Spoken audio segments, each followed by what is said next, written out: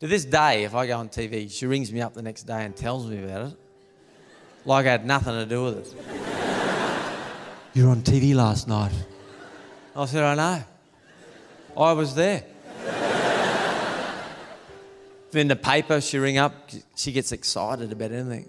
It's in the paper for something. I don't read the paper. She rang up one day. Carl. She's a transvestite.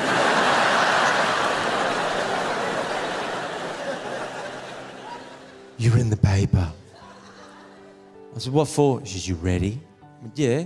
You're a crossword question. and she hangs up, and that's it. She loves it, any of it. I was on Who Wants to Be a Millionaire one night. Not a, not a contestant, I was a question. Mum taped it. Went home and she said, Sit down, watch this.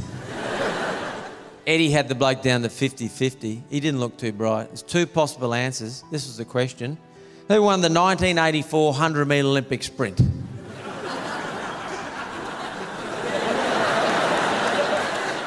was it Carl Lewis or Carl Barron? He's thinking about it, the dickhead.